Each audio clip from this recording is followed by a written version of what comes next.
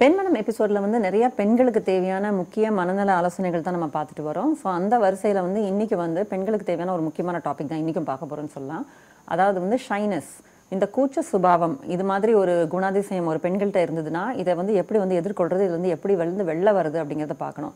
ஏன்னா அப்படி இருந்துட்டு போகிறாங்க இதனால் என்னங்க அப்படின்னு பார்த்தீங்கன்னா நிச்சயமாக இந்த கூச்ச சுபாவம் மூலமாக அவங்களோட உண்மையான ஒரு திறமைகளை வெளிக்காட்ட முடியாமல் போகலாம். இல்லை நீங்கள் வாழ்க்கையில் வந்து ஒரு சந்தோஷமாக இருக்க முடியாமல் போகலாம். ஒரு நிறைய பேர்கிட்ட நிம்மதியாக மனம் விட்டு பேச முடியாமல் போகலாம். ஸோ இந்த மாதிரி விஷயங்கள் அதிகமாக அதிகமாக இது மனநல பிரச்சனையாக கூட மாறதுக்கு நிறைய வாய்ப்புகள் இருக்குது ஸோ நீங்கள் உங்கள் வீட்டில் இருக்க ஒரு டீனேஜ் பெண்ணாக இருக்கட்டும் பையனாக இருக்கட்டும் இல்லை வந்து பெண்மணிகள் நீங்களே இருக்கட்டும் உங்கள் யாருக்காவது இந்த மாதிரி ஒரு ஷைனஸ் இருந்தது அப்படின்னா வந்து ஹை டைம் நீங்கள் அதில் விட்டு வெளியில் தான் வரணும். இப்படியே வாழ்ந்துட்டு போகிறாங்க நம்ம நினைக்கிறது வந்து ரொம்ப ரொம்ப தப்பு. ஸோ இதுக்கான சில யுக்திகள் வந்து உளவியல் ரீதியான விஷயத்தில் நம்ம பார்க்கலாம். இப்போ ஒரு எக்ஸாம்பிள் பார்த்தீங்கன்னா வந்து இதெல்லாம் மாற்ற முடியுமான்னு கேட்டிங்கன்னா நிச்சயமாக முடியும். இப்போ வந்து நம்ம ஒரு பைக் ஓட்ட கற்றுக்குறோம் அப்படின்னு பார்த்தீங்கன்னா வந்து ஸ்டார்டிங்கில் வந்து ரொம்பவும் கடினமாக தான் இருக்கும். எங்கே ஆக்சிடென்ட் ஆகிடுமோ எப்படியாவது ஆகிடுமோ நிறைய பயப்படுவோம். ஆனால் இதே நமக்கு பழக பழக என்னாகும்? ஜா ஜாலியாக நம்ம ஓட்டுவோம் பாட்டு கேட்டுகிட்டே கூட ஓட்டலாம். இந்த அளவுக்கு எந்த அளவுக்கு கைவந்த கலையாக இருக்குது அதே மாதிரி தாங்க இந்த ஷைனஸ்லேருந்து வெளியில் வரதும் வந்து முயற்சி எடுக்கும்போது ரொம்ப கடினமாக தான் இருக்கும் கஷ்டமாக தான் இருக்கும். பட் முயற்சி எடுத்துட்டிங்கன்னா அதோடைய பயன்கள் வந்து ரொம்ப ரொம்ப அதிகம்.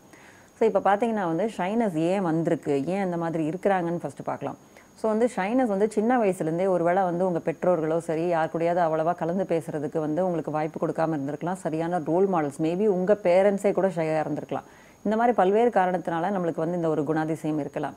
ஸோ ஃபஸ்ட்டு என்ன பண்ணணும்னா எது பயப்பட வைக்குது? யாராவது நம்மளை ஜட்ஜ் பண்ணிடுவாங்களோ? யாராவது நம்மளுடைய குணத்தை உண்மையான ஃபேஸை தெரிஞ்சுப்பாங்களோ? என்னை ஜட்ஜ் பண்ணிட போகிறாங்க என்னை கேவலமாக நினச்சிட போகிறாங்க என்னை ரிஜெக்ட் பண்ணிட போகிறாங்க இந்த மாதிரி மனசளவில் இருக்க பயங்கள் தாங்க அவங்கள வந்து மற்றவங்கக்கிட்ட பேசுகிறதே வந்து தவிர்க்குது.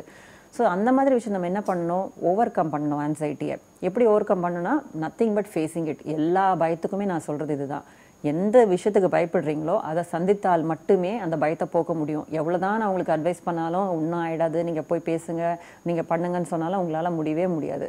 என்ன பண்ணணும்னா ஜஸ்ட்டு எது பயப்படுறீங்களோ அதை நம்ம செஞ்சே ஆகணும். ஸோ வந்து ஃபியர் ஆஃப் ரிஜெக்ஷனும் சில பேருக்கு இருக்கலாம். ஸோ ஒரு சிறு வயதில் ஒரு இன்சிடென்ட்டை நம்ம எடுத்துக்கலாம். உங்கள் கிளாஸ் டீச்சர் வந்து ஏதோ கொஸ்டின் கேட்குறாங்க நீங்கள் தைரியமாக அதுக்கு எழுந்து பதில் சொல்கிறீங்க அந்த தருணத்தில் வந்து அவங்க வந்து வேறு ஏதோ ஒரு டென்ஷனில் வந்து உங்களை வந்து அவமானப்படுத்தி உட்காரு இது கூடவா சொல்ல சொல்லத் தெரில அப்படின்னு சொல்லிடுறாங்க. அன்னைக்கு நடந்த இன்சிடெண்ட்லேருந்து அதுக்கப்புறமேட்டு இருந்து பார்த்தீங்கன்னா அந்த ஒரு பையனாக இருக்கட்டும் பொண்ணாக இருக்கட்டும் ஒவ்வொரு டிஸ் அவங்களால வந்து ஒரு பப்ளிக்கில் பேசக்கூடிய ஒரு பயமே வந்துடும் ஒரு நடுக்கம் வந்துடும் ஸோ இந்த சம்பவம்னால என்னை யாராவது இழிவுபடுத்திடுவாங்களோ அப்படிங்கிற ஒரு பயத்திலேயே வாழ்ந்துட்டு இருப்பாங்க. இதுலேருந்து நம்ம எப்படி போக்கலாம்? வெளியில் வரலாம் அப்படின்னு கேட்டிங்கன்னா இந்த மாதிரி இன்னொரு சந்தர்ப்பம் உங்களுக்கு நிறையாவே கிடைக்குங்க. அப்போ அதை பிரேக் பண்ணுங்கள் வெளியில் வாங்க. கண்டிப்பாக அதை வந்து எதுக்கு பயந்தீங்களோ அதை செய்யுங்க. மறுபடியும் கொஸ்டின் கேளுங்க. டீச்சர் ஏதாவது கேள்வி கேட்டாங்கன்னா திரும்ப திரும்ப எழுத பதில் சொல்லுங்கள் நாலு பேர் சிரிச்சாலும் பரவாயில்ல. நம்ம எதையுமே இழந்து விடலை. அது திரும்பியும் நம்ம செய்யணும். இது எவ்வளோங்க ஈஸியாக சொல்ல முடியும்? கஷ்டம் தானே அப்படின்னு கேட்டிங்கன்னா கஷ்டம் தான். நான் ஏற்கனவே சொல்கிற மாதிரி பைக் ஓட்டுற மாதிரி ஸ்டார்டிங்கில் கஷ்டமாக இருக்கும். பட் போக போக இது உங்களுக்கு பழகிடும்.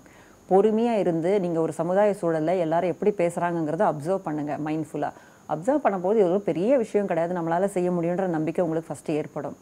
அடுத்தது ஒரு சின்ன சின்ன டாக் பண்ணுங்கள் உங்களுக்கு தெரிஞ்சவங்க கிட்ட பேசினா உங்களை ஜட்ஜ் பண்ணிடுவாங்கன்னு நீங்கள் பயந்தீங்கன்னா உங்களுக்கு முன்ன பின்ன தெரியாத ஒரு ஸ்ட்ரேஞ்சர்ஸ் கிட்ட வந்து ஒரு டைம் கேட்குறதோ இல்லைனா இதுக்கு எப்படி போகணும்னு வழியில் பைக்கை நிறுத்தி கேட்குறதோ இந்த மாதிரி சின்ன சின்ன விஷயங்கள் வந்து முதல்ல நீங்கள் எக்ஸ்பெரிமெண்ட் பண்ணலாம்.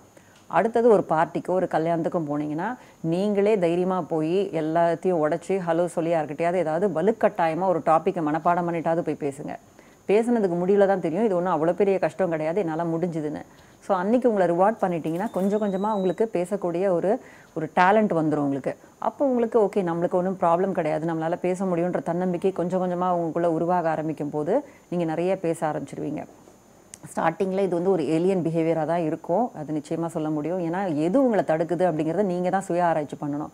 ஒரு ஒருத்தருக்கும் ஒரு ஒரு காரணங்கள் இருக்கலாம் கூச்ச சுபாவத்தை வந்து கண்டினியூ பண்ணுறதுக்கு நம்ம வந்து மாஸ்க்கு போட்டுட்டு அலையலாம் நம்மளோட உண்மையான உருவத்தை யாருக்காவது காட்டிட்டான்னு. இந்த நேரத்தில் தான் உங்கள் உண்மையான உருவம் வந்து நீங்கள் நினைக்கலாம் நான் இவ்வளோ கேவலமாக இருக்கேன். எதாக இருந்தாலும் உங்களோட உண்மையான ஃபேஸோடைய மாஸ்க் போடாமல் எல்லாரையும் சந்திச்சு பாருங்கள் அப்படி உங்களை ஏற்றுக்கிறவங்க உங்கள் நண்பர்களாக இருக்கட்டும் உங்களை ரிஜெக்ட் பண்ணுறவங்க உங்களுக்கு தேவை கிடையாது. ஸோ யாரெல்லாம் உங்களை ஏற்றுக்கிறாங்களோ அவங்க கிட்ட பேசினா மட்டுமே கூட போதுங்க. ஸோ இந்த பயத்தை முறியடிக்கிறதுக்கு நீங்கள் திங்க் பண்ணி சுயாராய்ச்சி செஞ்சு எதனால் நம்ம இப்படி இருக்கோன்றதை யோசிச்சு அதை தவிர்க்கிறதுக்கு நேரடியாக போய் நிறைய விஷயங்களில் பேசுங்க சோஷியலைஸ் பண்ணுங்கள் this the only way to overcome